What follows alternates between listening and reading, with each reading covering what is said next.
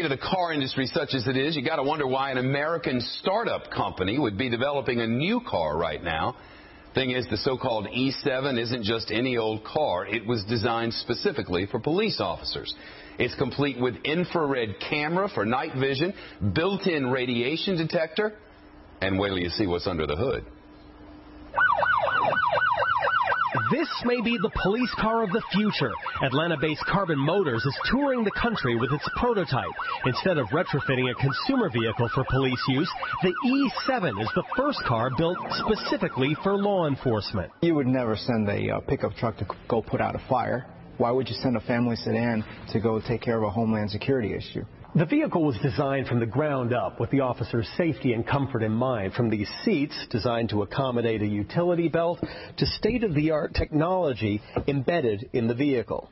Onboard equipment automatically scans license plates of other vehicles and can detect nuclear and biological threats.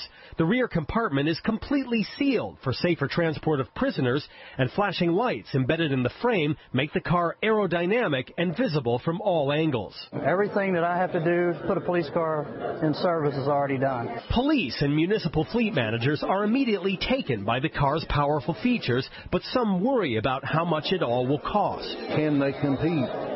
With Ford? Can they compete with Chevrolet? Can they compete with those guys and actually put a car out there we can use that that makes sense for us to buy because it's competitive in price? The company, which plans to put its first E7s in service in 2012, says the price will be comparable to what law enforcement agencies currently pay for retrofitted vehicles, with the added advantage of a powerful diesel engine that's 40% more fuel efficient. If the project succeeds, Carbon Motors predicts production of the E7 will create 10,000 direct and indirect American jobs and a black and white that better protects and serves the men and women in blue. In Greenville, South Carolina, Jonathan Serrie, Fox News.